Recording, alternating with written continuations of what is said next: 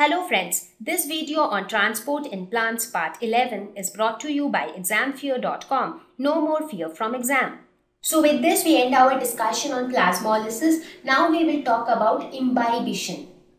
So what is imbibition? It is yet another process in which, which is again a, a special form of diffusion you can say, where we see that water gets transported to different objects. So it is the absorption of water by colloids or porous solids causing them to swell. Now you would have observed for many objects, on objects in the sense, let us suppose if you talk about wood, you would have seen that wood is very good for absorbing water with the help of the pores, tiny pores which are present on their surface.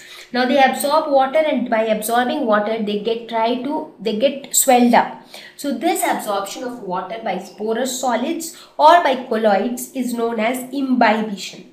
This is also a special form of diffusion because here also if you take the example of wood, the water concentration in the wood was less water present outside is more. So water moved from higher concentration to lower concentration. So the concept is of diffusion. It is just that it is a special name given to uh, the absorption of water by porous solids.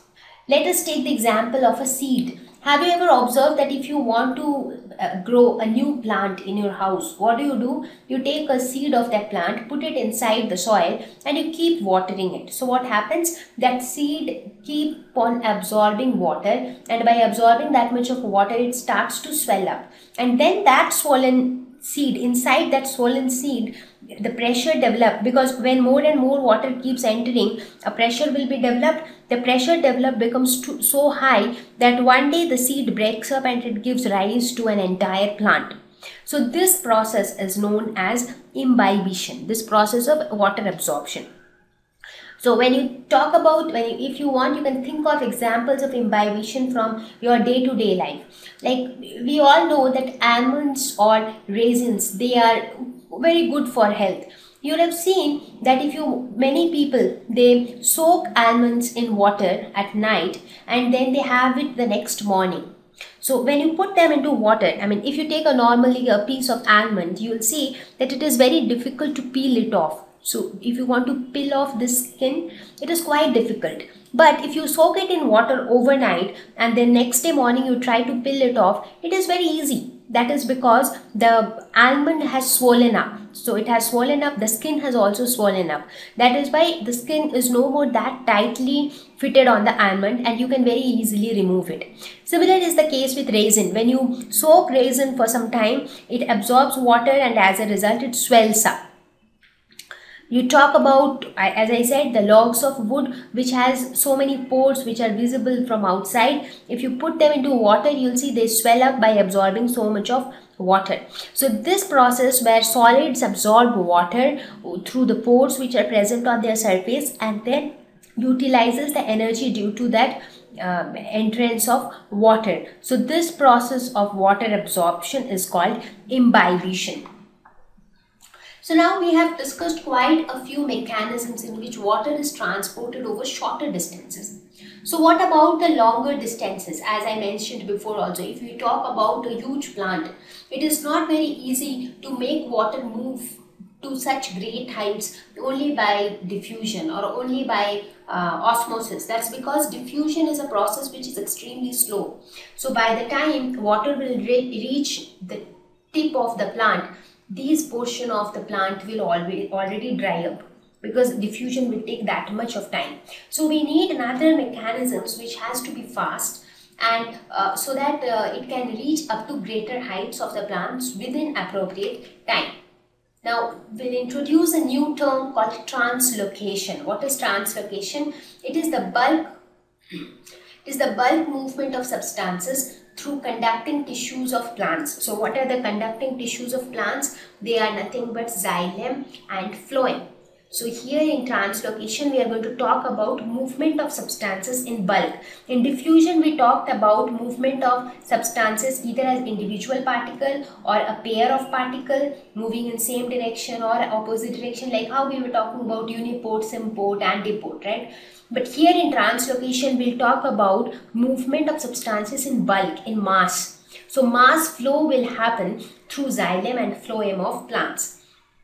Now this bulk flow happens mainly due to differences in pressure. So the mass of substances will move from a region of high pressure towards a region of low pressure. Now when you talk about mass flow or when you talk about bulk movement, you can think of an example like a river. In river you have so much of water and all the water particles move together in a mass it is not about the movement of an individual water molecule or two or three water molecules together. The entire flow is because of the mass. For example, when you try to, uh, you have a cold drink, a glass full of cold drink in your hand and you try to drink it with the help of a straw. So what happens when you take a sip, mass flow of the liquid happens through the straw. So they are all examples of bulk movement. So now we will talk about all such techniques which enables mass flow in case of plants.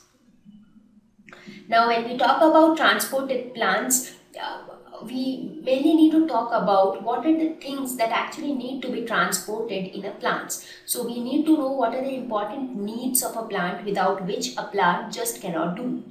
So what are the important needs of a plant?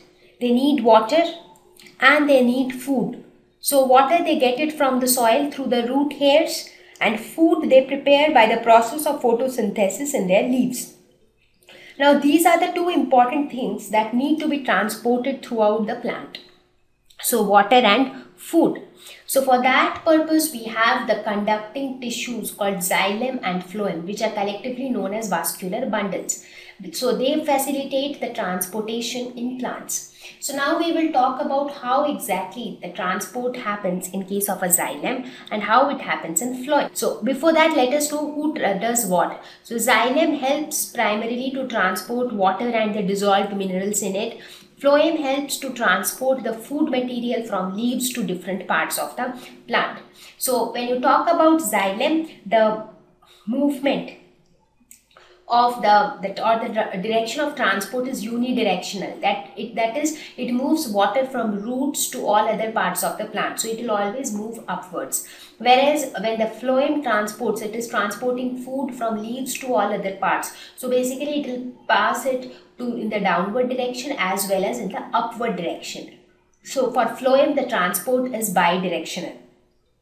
So let us first thank you Please visit www.examfear.com to watch more videos, attempt free online test, get free study material, find tutors and mentors. Thank you once again.